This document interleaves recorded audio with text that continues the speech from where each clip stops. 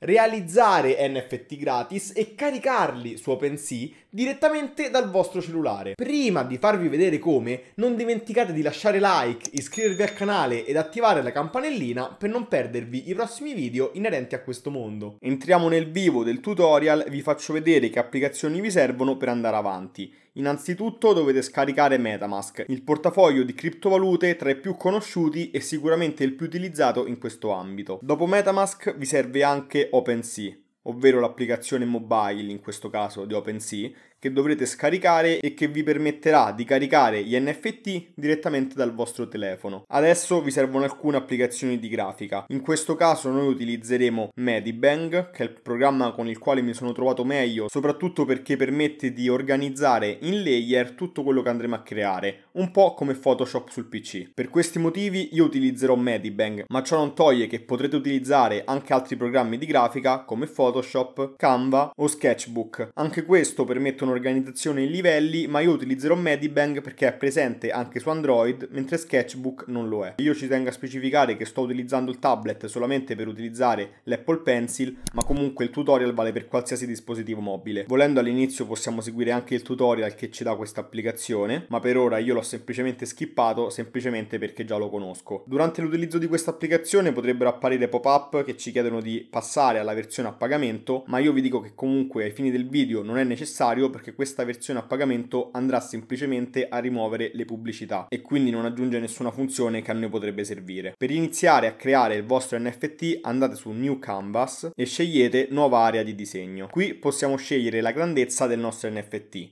Per la mia collezione sul computer io ho usato la grandezza di 3000 pixel per 3000 pixel, però in questo caso visto che siamo sul telefono e soprattutto visto che questo è un tutorial e non voglio utilizzare troppo spazio di memoria, utilizzerò una grandezza di 500 pixel per 500 pixel. La risoluzione in DPI io lascerei 350 che è quella preimpostata dall'applicazione e poi cliccate semplicemente su fine per iniziare a creare il disegno. Qui l'applicazione ci chiede di poter utilizzare il nostro Bluetooth, ma a noi non serve a niente, quindi io cliccherò non consentire. Una volta entrati in questa schermata, di default troveremo il pennello. Possiamo aumentare o diminuire la larghezza del pennello e con questo iniziare a disegnare. Cliccando su quest'icona con i livelli possiamo vedere anche tutti i livelli che abbiamo creato. Cliccando sul più ne possiamo creare altri e scorrendo una volta cliccato un layer lo possiamo eliminare e questo è utile per creare più background, più attributi ma in generale più elementi grafici. Per creare dei background monocromatici basterà qui sulla sinistra scegliere un colore, magari anche la sua intensità, poi andare sullo strumento del secchiello e cliccare la nostra area di lavoro. Una volta creato in questo caso il background, ma in generale qualsiasi attributo, cliccate qui sull'icona dei tre layer e cliccando sul pulsante impostazioni potrete anche rinominare il nome del layer. Se vi servono strumenti specifici vi consiglio di andare a cercare su internet qualche guida, ma essendo che stiamo da telefono, ovviamente io farò una guida semplificata, perché altrimenti si potrebbe utilizzare tranquillamente il PC. Qui sopra, cliccando sull'icona del quadrato, è possibile scegliere ed utilizzare delle forme già preimpostate. Qui appunto l'icona di default è il quadrato, ma se poi cliccaste, non lo so, su ellisse, l'icona di default diventerebbe l'ellisse. Comunque l'importante è sapere che il pulsante si trova lì. Ogni volta che andate ad aggiungere qualcosa che non c'entra con il layer corrente, ricordate di creare un nuovo layer. Questo appunto per separare i vari attributi. Se magari volete delle forme meno tondeggianti, come in questo caso vedete che il quadrato ha gli angoli tondi,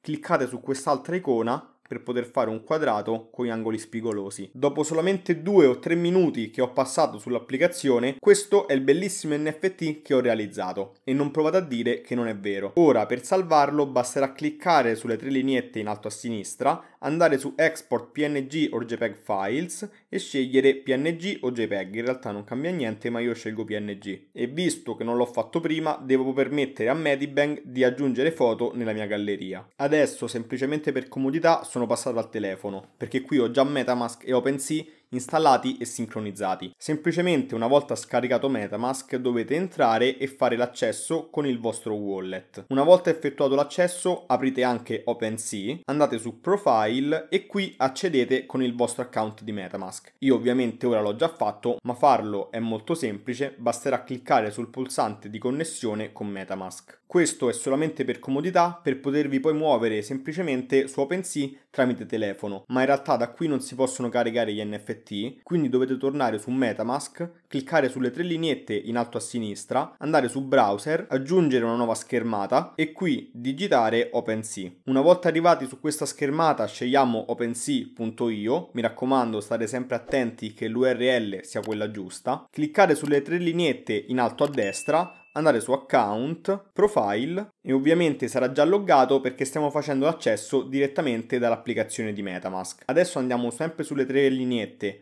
su account e my collections. Qui clicchiamo create a collection. Ovviamente dobbiamo firmare questa transazione e una volta firmata dovremo riempire tutti questi campi io per i fini del video riempirò solamente quelli che sono richiesti per la creazione di una collezione. Ovviamente voi dovete riempirli tutti per creare una collezione quantomeno più professionale. Quindi inserisco l'immagine che abbiamo creato come logo della collezione, scendo qui sotto e do il nome prova YouTube alla collezione, salto tutti questi campi che non sono richiesti ma che voi dovreste compilare e qui sotto in blockchain scelgo Polygon questo perché quando si creano NFT direttamente da OpenSea, Polygon permette di non pagare nessuna commissione. Adesso vado su Create e quando apparirà questo messaggio in basso Created, la collezione sarà creata. Adesso per aggiungere un NFT a questa collezione, clicchiamo su Add Item, ci apparirà questa schermata, clicchiamo in questo grande riquadro, scegliamo Photo Library o Choose File in base a dove abbiamo salvato la nostra immagine e poi la inseriamo all'interno. Scegliamo anche qui un nome che è obbligatorio e voi selezionate anche tutti questi altri campi che però per me sono opzionali e salterò ai fini del video. Qui sotto in proprietà cliccate su più e ne potete aggiungere tante quante sono le proprietà che avete creato nei layer. In questo caso io ho inserito solamente lo sfondo, la faccia e i vestiti. Clicco su Save,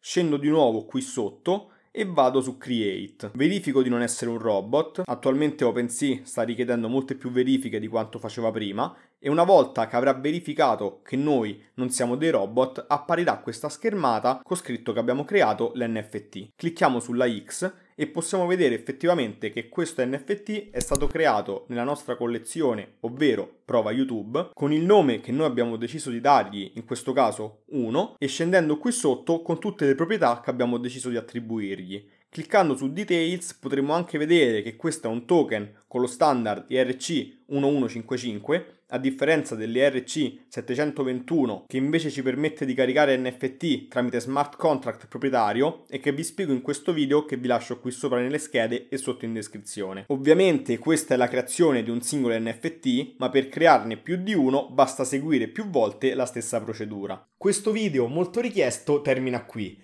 Se avete qualsiasi domanda fatemela nei commenti e lasciate like, iscrivetevi al canale ed attivate la campanellina per non perdervi i prossimi video. Io vi saluto e alla prossima, ciao!